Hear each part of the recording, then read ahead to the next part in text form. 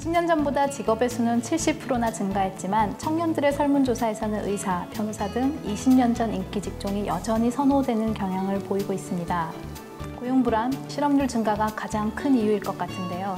새로운 일에 도전하고 진로에 대한 진취적인 시각을 가지는 인재가 필요한 시점입니다.